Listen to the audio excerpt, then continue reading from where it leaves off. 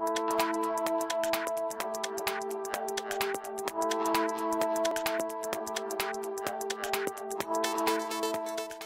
what is up guys? Jay Burton here, and today I want to bring you a guide on how to be a DPSer in arenas. I know this sounds dumb, but in the eyes of somebody who is new to PvP, or just been doing PvP for a while and not being successful, this might help. So if I was to ask a brand new person, hey man, what do you think is the most important goal, the most important thing you should do in arenas? They might say like, oh, well, I like to kill. Yeah, that's important, but not the most important thing. There's three things to consider. The first one, keep your healer alive. This is the top priority. If your healer dies, you don't get heals.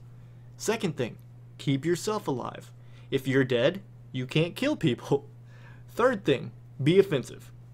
After, let's say your healer is doing good, your health is doing good, then you need to move on to offensive, which is do damage, interrupt, and CC. Technically, the CC can be on the defensive part too, but we're gonna we're gonna keep it in this category. So keep your healer alive, keep yourself alive, then be offensive. It's in a queue system. Follow it like that. Alright, so let's go into the first thing, which is keep your healer alive. How do we do that? But they should be calling Well, out things when they're in Let's trouble. say there's a DK on your healer. So for example, your healer You're should up here really DPSing somebody, out all the time. and your healer is down there by that pillar. You notice they're in trouble, you need to switch to them. Because that DK is like not falling for jukes from the healer, or they just interrupt them or stun them. You need to get down there, get on the DK, hamstring, and start DPSing them. This does two things. You slow them so your healer can get away, and you're doing damage to him, which means he's most likely out of line of sight of his healer.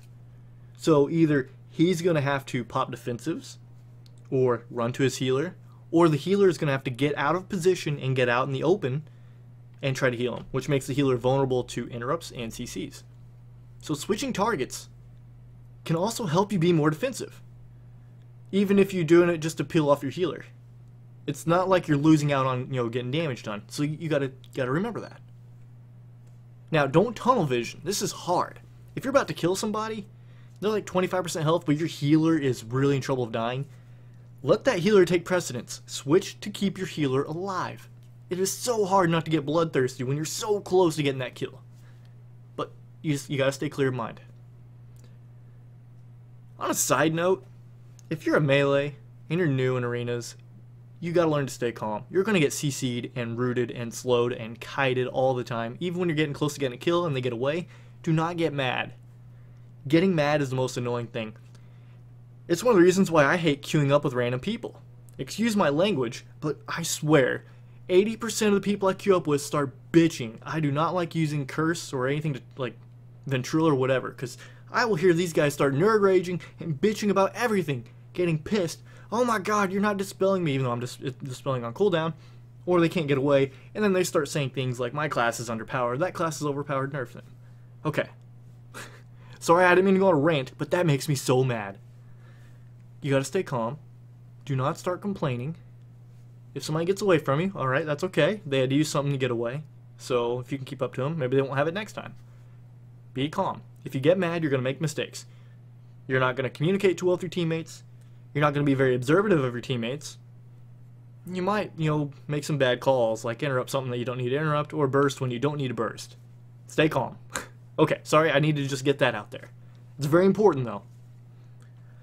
Okay, so switching to your healer, well, somebody on your healer, will help out a lot. Just to recap, it'll hurt them, the enemy that's on your healer, make them potentially pop cooldowns to stay alive, and maybe bring their healer out in the open to help heal that person.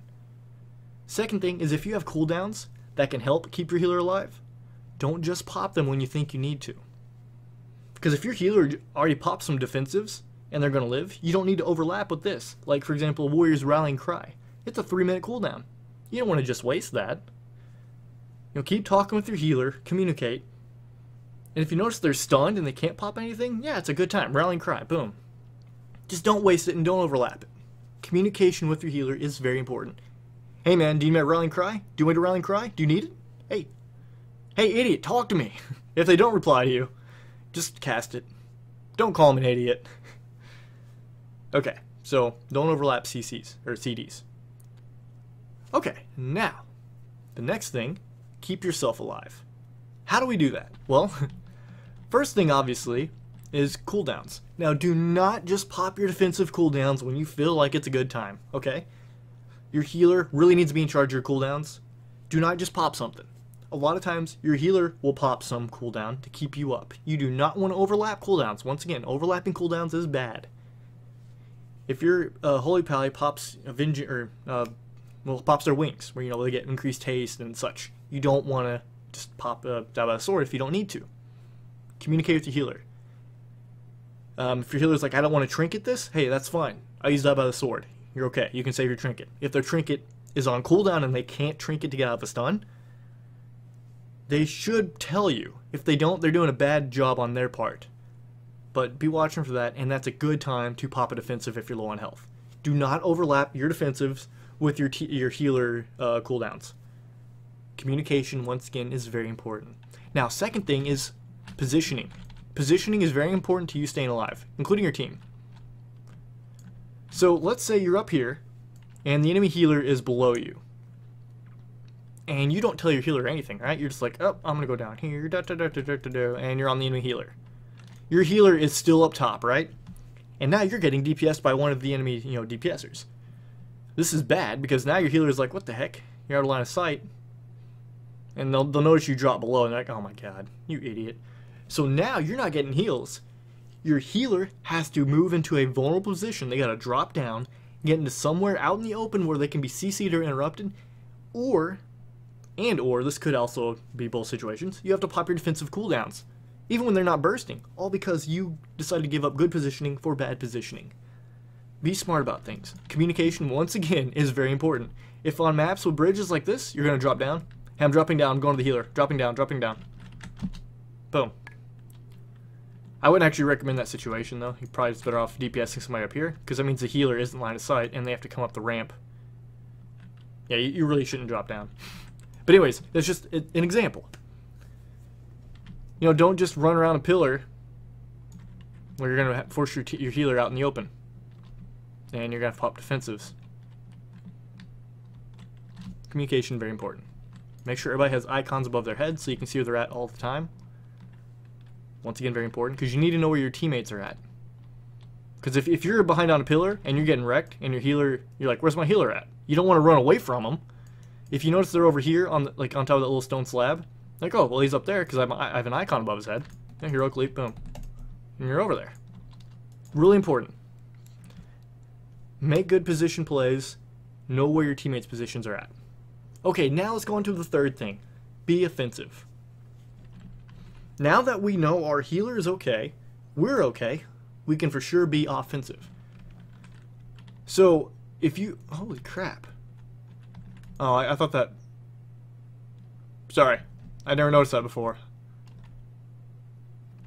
God. That's brutal. Anyway, sorry. okay, so if you have good spammable CC, like Fears and Polymorphs, you need to make sure you're using those. If you're tunnel visioning on somebody, trying to kill somebody, and you're not doing CCs, you're doing it wrong. This is very important. Because a lot of times, if you're about to get a kill, and you're not CCing the enemy, the enemy will probably have a interrupt, stun, CC, something to peel you off from getting that kill. Get your CCs going. Let's see. Interrupts. It's important to interrupt the right thing. Some of the most important things to interrupt CCs, uh, you know, polymorphs, fears, cyclones, really important. But also heals. If the healer is, you know, he has to come out in the open for a second and you're DPSing somebody, you notice you notice where the enemy healer's at, boom, get an interrupt. Hell yeah, you know. But uh, keeping your C your your healer from being interrupted is very important. Very important. That goes back to rule number one, which is keep your healer well, yeah, keep your healer alive. Actually, that could be rule number two. because if, if your healer's getting polymorphed, they're going to live. But you're going to die. Anyways, it takes precedence over actually killing somebody in my queue system.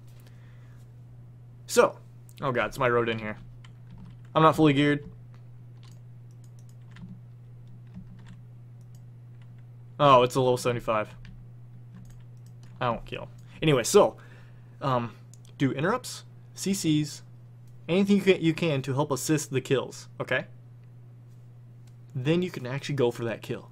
Just make sure you don't tunnel vision on the kill and forget to use interrupts and CCs. Um, a lot of times you can chain your CCs with your teammates.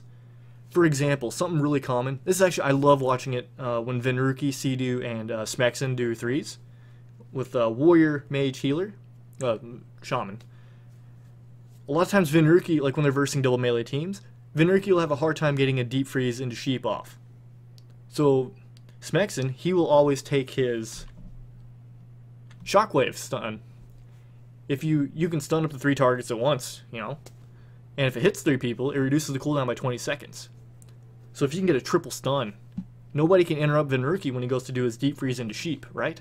Really good. So depending on your comp, you can do a lot of these cool things. I'm not saying every comp um, will work above 2k, but don't feel restricted to have to use RMD, WLS, RLS, God comp, all these specific comps, you know. Think about your cooldowns and how you can chain them together. Or interrupts too, and CCs. Okay, guys, that's all I got.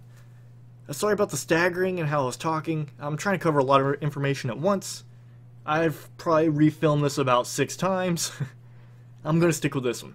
If you guys enjoyed that video, hit that subscribe button for me. Alright guys, see ya. I'm coming up to the side on this. Boom. Goodbye, Bastion.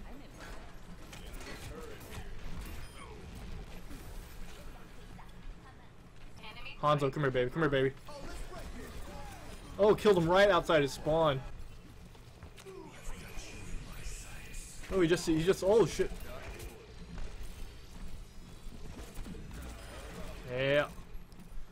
Some Kree combo, baby.